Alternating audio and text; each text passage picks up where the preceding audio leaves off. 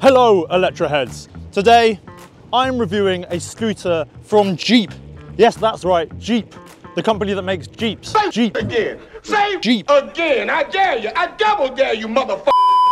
Yes, that's right, the company that literally made Jeeps during the war. And that's why we're at this abandoned RAF air hangar. That and the fact that we're not legally allowed to ride on roads in this godforsaken country that is the UK. This is the Jeep Camou 2XE. What you're looking at is robust, it's sturdy, and it's hard as nails. And that's just me. Let's go.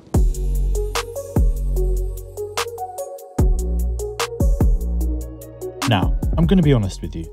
When I first heard that Jeep had made an electric scooter, I assumed it was just a crappy marketing gimmick. It actually lay completely untouched in my house for weeks before I got round to riding it. I'll level with you. I've always wanted a Jeep Wrangler, ever since watching Jurassic Park as a kid, so it's nice that there's a somewhat more affordable entry point into Jeep ownership, and one that's better for the environment. But every fibre of my being was telling me that this would be a soulless heap of junk, a bit like the modern Jurassic Park remakes with Chris Pratt. It turns out, Electroheads, that just like in my GCSE science exam, I was wrong. Very, very wrong. My Jeep Camou 2XE has, alongside my trusty Techtron Ultra 5000, become a scooter I keep going back to time and time again. The thing I love more than anything about this scooter is the dual suspension. It's just so bouncy. That means it can soak up any terrain. We've been on grass, we've been on this tarmac, we've been on gravel, and it's just soaked everything up. So I'll just go off road right now. This is just soaking it so well. Like it's bumping me around a bit, but really not that much. It's very wet right now, Electroheads, so there might be some water on the lens, but we thought we might as well review this from a military perspective because it was originally a military vehicle and we're on a former military base. I think the two front lights could be turned into guns, so you could be driving along and actually just press a little trigger, change the bell for a gun and just blast people out of your way.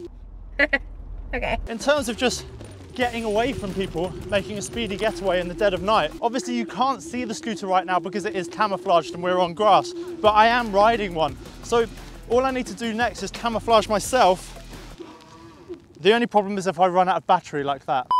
If you got into a crash on this scooter, God forbid, I think even if it was like an SUV that you crashed into, they'd probably come off worse. You think it was just like zombies rather than apocalypse? Yeah, definitely. You just get down behind it like this. It's not the fastest scooter in the world. It has a top speed of 15 miles an hour. For me, that's absolutely fine. The most important thing is actually the acceleration. With the 500 watt motor, it gets to 15 miles an hour very quickly, which is important if you're in traffic in other countries than the UK where you can't ride this legally. The other thing that I really love is that that 500 watt motor means you can get up hills very easily. A lot of scooters with a 250 watt motor might have a higher speed than the Jeep Camou 2XE, but they can sometimes struggle on hills. This can deal with gradients of above 20% with absolute ease. And even though it can only carry somebody up to 100 kilograms, I'm about 95 and it's really not having a problem accelerating me up to the top speed. So, removing the Jeep brand name from the equation for a moment and removing my giddy excitedness when riding it, let's take a step back and look at the cold hard spec of this scooter. The three standout items for me are the motor, suspension, and brakes. The 500 watt motor is fitted to the front wheel, providing good torque off the line by pulling the rider along. The effect of the front wheel motor pulls your centre of gravity down from your chest towards the scooter. With a top speed of 25 kilometers an hour, this is very much a Jeep rather than a Ferrari. The dual suspension is quite honestly outstanding. It has a lot of travel and it's fairly soft, so when you combine that with the fairly light weight of the scooter, what you get is effectively a magic carpet ride. Smooth, buttery and floaty. Not only that, but you can bunny hop this scooter by pushing your body weight down into the board and using the suspension to spring up into the air. But beware, this is incredibly addictive. There's a mechanical rear brake and an electronic front brake on the Jeep, and in our testing, the braking proved to be sharp and provided an excellent stopping distance even from top speed. I much prefer mechanical brakes to electric brakes. Not only do you get a shorter stopping distance, but you can also have yourself some fun. The fat tyres also make it a very different ride to a lot of e-scooters that are out there. It's just smooth, feels absolutely fine on this slightly wet ground that we're on.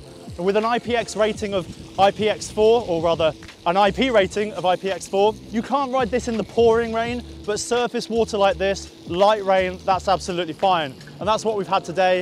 It's had absolutely no problems. The front and rear mud guards, Rud guards? The front and rear mud guards have meant that I've not really been splashed at all, apart from when doing stupid things like going through massive puddles. So if you're looking for something to get around on in a country where light rain is something you have often, you want to commute to work, then this is absolutely perfect. All of that does come at a bit of a premium. It's around 800 pounds. That said, we currently have a sale on right now on this product on the Electroheads marketplace. So you can head over to electroheads.com and find more information on the Jeep Camou 2 XE. We've got the full spec listed on there. So if I say anything wrong in this video, like get the uh, average motor and the peak motor mixed up, which is something I do all the time because I'm an idiot, then you can just go and check the spec on electroheads.com.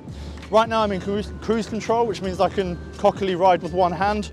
You can change that in the app, so if you want to turn that off, download the Jeep app, turn off cruise control, and then that doesn't happen. I actually quite like it, especially just when you get up to that top speed, you're on a long straight like we are, and you just want to hold that speed, it's fine. And then you can get nice, smooth carving in because you know that you're staying at the same speed. All in all, I'm really impressed by this scooter. The only thing I would say is this is obviously designed for people that will be commuting. So it's designed in Italy. You can buy it in the UK, like I said, from electroheads.com.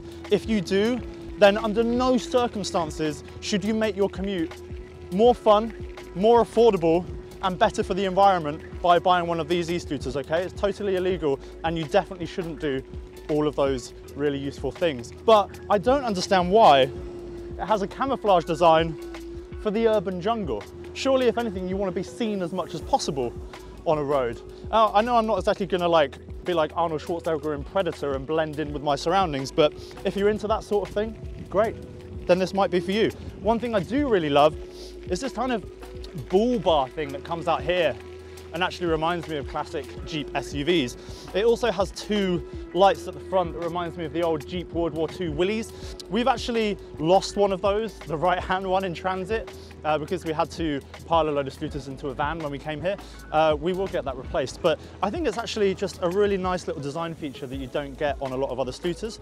Um, and that's probably enough of me chatting absolute shit. Oh wait, no, there is one other thing I absolutely love. So it's super, super windy right now. I don't know if you can actually hear, but some scooters, when you're standing still on them, you topple over really easily. The balance point on this, because these tires are so wide, it is so stable and you've got that suspension helping you as well.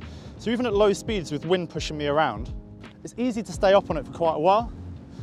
And I'm only doing this, I know it probably looks really idiotic on camera, but just to show you, like, even with one hand, Parkour! You can balance on this thing for ages. When you've got skinny tyres on an eight inch wheel, which is what a lot of... Sorry. Sorry, talking about balance and, and Moja's just stacked it. So when you've got skinny tyres on an eight inch wheel, it's really easy to topple over. It's really easy to hit a pothole and go flying. But these, you can actually stay on it for a while. I'm now doing a really bad job of showing you that. Hang on. It's great. Why are you the way that you are? So, who is this scooter for? The Jeep Camou 2XE is an excellent all-rounder. Its thick tread tyres and dual suspension make it great off-road and very comfortable on-road. I think this scooter is for people who want a commuter scooter that's a cut above the rest, and that can also be a toy for weekend adventures. I think it's one of the best value scooters on the market right now, and the only thing that will put some people off is the top speed of 25 kilometers an hour. It's plenty fast enough for commuting or off-road adventures, but probably not quite fast enough for the thrill seekers amongst the Electroheads audience. If you're in the UK, you can buy this scooter from electroheads.com with free express shipping, full one year warranty, and customer service from our UK based team. All that's left for me to say, Electroheads, is thanks for watching. And if you have any questions or comments, then feel free to drop them below this video. We love it every time you like and every time you comment and every time you smash that subscribe button. So if you haven't already done that, do it right now, or I will come and I will find you. Have a great day wherever you are, and thanks again for watching.